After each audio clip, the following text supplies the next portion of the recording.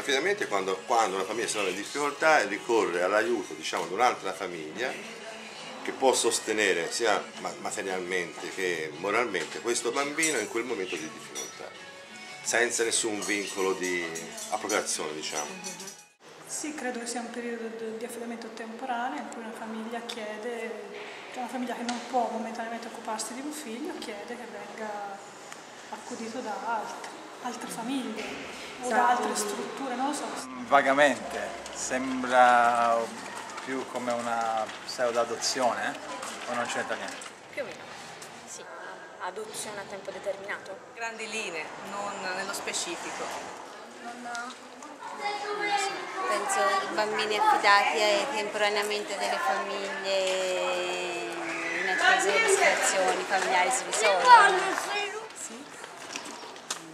Sì. ho sperimentato una cosa di questo genere, anche se molti, molti anni fa, quando ancora l'istituto non era riconosciuto giuridicamente. No l'adozione è in via definitiva, mentre l'affido è un affido temporaneo a una famiglia scelta dai servizi di un bambino non ancora dichiarato in stato di abbandono. Sì, sì, sì, sì molto bene. Avendo le possibilità e le condizioni economiche, perché no? In questo momento qua non c'è né casa né lavoro, per cui... Ma in linea teorica sì, l'unica riserva che ho è sulla quantità di tempo che io posso dedicare a questo bambino, cioè attualmente non lo potrei fare, perché già sto poco dietro ai miei. Ma cioè, per manca- lo farei ma per mancanza di spazio è impossibile. È una cosa ho pensato, situazioni difficili che richiedono una, una stabilità diciamo, anche emotiva e un progetto di vita ben saldo, penso, prima di prendere una responsabilità del genere. Disposta, sì, in grado non lo so.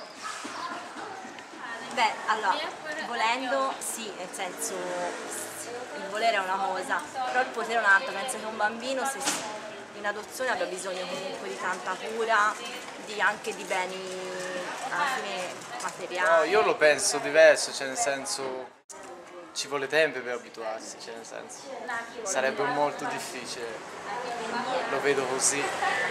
Cioè per carità i bambini sono carini, però alla fine il momento in cui lui cerca la mamma sarebbe un po', un po difficile da tranquillizzare, perché noi non siamo i genitori, siamo tutta un'altra gente che lui la... Inesperti. Ma purtroppo no. Mm, perché? Per ragioni economiche soprattutto abbiamo già un bambino in affido. Una condizione ideale per un bambino in questa situazione non esiste. Forse la, la meno peggio. Sicuramente vivere in un ambiente, anche se per poco tempo, vivere in un ambiente in cui un ragazzo viene accolto, ma viene ascoltato, viene capito è, è una cosa positiva. Non? È un trauma per un bambino distaccarsi da famiglia anche, anche se le condizioni familiari sono dure, drastiche, il bambino probabilmente coglie solo il distaccamento dalla madre o da... però... Da, dando un incentivo, ma nemmeno una cifra per mantenere il bambino, un, un incentivo. Un premio anche di 100 euro per dire fai qualcosa, tu anche se spendi 300 e non vorresti niente, ti do 100 euro per un aiuto è morale, per non sentirsi abbandonati. Fondamentalmente nel spazio, perché la casa è, è precisa.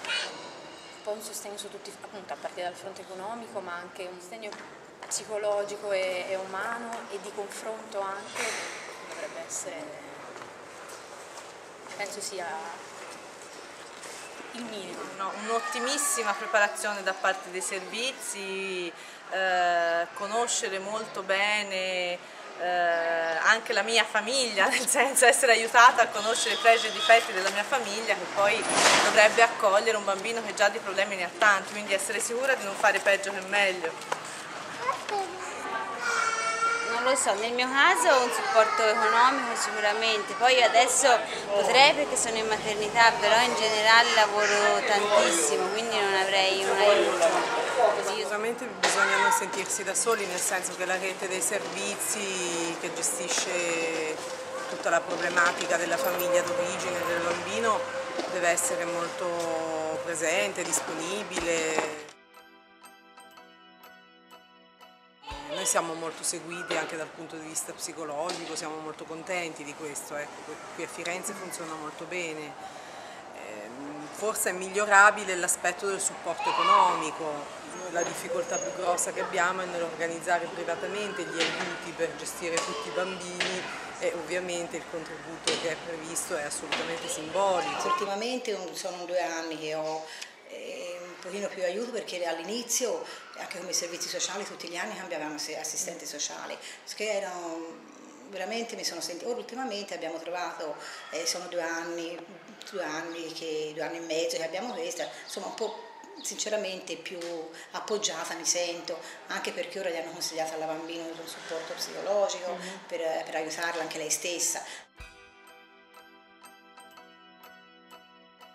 È per un desiderio di un'esperienza molto molto bella, perché è stato bello con i nostri figli naturali e questa è una cosa ancora più bella forse. Questa bimba l'ho conosciuta fin da quando era piccolina, è stata in un istituto, era, aveva pochissimi giorni e eh, con la mia famiglia abbiamo deciso di prendere questa bimba in affidamento perché ci siamo, ci siamo affezionati. 13 anni. Da 3 anni a 11 anni.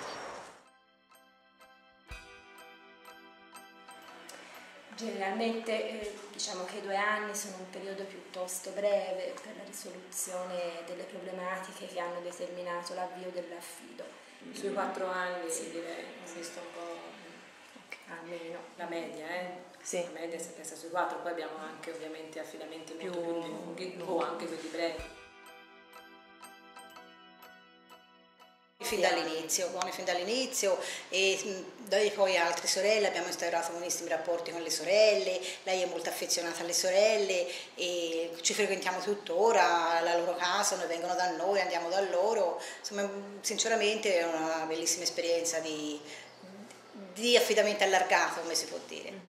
La mia famiglia d'origine era costituita solo dalla mamma e sì sì veniva a trovarmi quindi il filo non si è interrotto, eh, era problematico ma insomma non si è interrotto. Ecco. diciamo che questo distacco dalla mamma era comunque dolorosissimo e solo grazie all'amore immenso e alla capacità di questa famiglia che mi ha accolto eh, mi è rimasto dentro soltanto cose belle di quel periodo, ecco, dopo aver superato il dolore per la lontananza dalla mamma. Sì, io personalmente per come l'ho vissuta sì, è una bellissima cosa, specialmente se si trova la famiglia eh, naturale ben disposta come l'ho trovata io. È stata una famiglia che mi ha dato appunto questo grande amore e le regole per, per vivere e anche la solidarietà perché per fortuna in questa famiglia c'erano già due figlie, quindi due sorelle che io ho trovate con le quali ho imparato a condividere. Eh, vita, le cose, i momenti. Ecco, credo che queste cose mi siano rimaste dentro. Per alcuni anni no, perché era, per me era fondamentale immergermi nella, nella nuova famiglia che mia mamma si era sposata e quindi avevo tutto da, da imparare, da capire, da farmi accettare. Però dopo alcuni anni, quando sono stata un po' più grande, è stata una cosa bellissima ritrovare questa famiglia affidataria e confermare l'affetto reciproco e, e anche la gratitudine da parte mia. Appunto c'è una responsabile che sarei appunto io. Il centro proprio affido è composto da due eh, assistenti a questo personale, due assistenti sociali e due psicologi. In prima battuta, diciamo così, viene eh, effettuato alla famiglia che, eh, o al single, alla persona singola che eh, diciamo, si avvicina al, al centro affidi, eh, viene effettuato un colloquio informativo e viene raccolta diciamo così, la domanda disponibilità. Eh, dopodiché appunto se la famiglia o la persona eh, si dichiara disponibile a proseguire nel percorso viene inserita in un corso di eh, formazione. Diciamo che al termine di questo corso la, se la famiglia è ancora diciamo così, disponibile a proseguire viene fatta quella che è proprio una, diciamo, una valutazione. Come sottolineare che proprio il compito del centro affido è quello di accompagnare la famiglia affidataria in tutto il percorso dell'affido, mm-hmm. quindi appunto come diceva Sandra dal momento in cui la famiglia affidataria inizia a pensare di rendersi disponibile dall'affido fino anche alla, fide, alla fine dell'affido, no? quindi anche qualora si arriva alla conclusione dell'affido il bambino rientra in famiglia, no? che è un momento molto delicato in cui noi pensiamo sia molto importante sostenere e accompagnare la, la famiglia. Io credo che l'informazione eh, progressiva e graduale della, dell'affido, che ha a che vedere con una politica di sensibilizzazione che sta eh, dire, diffondendosi nel territorio, abbia fatto sì che l'affido possa essere vissuto non come una forma di genitorialità sostitutiva, quindi diciamo così una sorta di scorciatoia nei confronti dell'adozione, piuttosto come un'esperienza pura, cioè fine a se stessa, e ben diversa da eh, un'esperienza adottiva.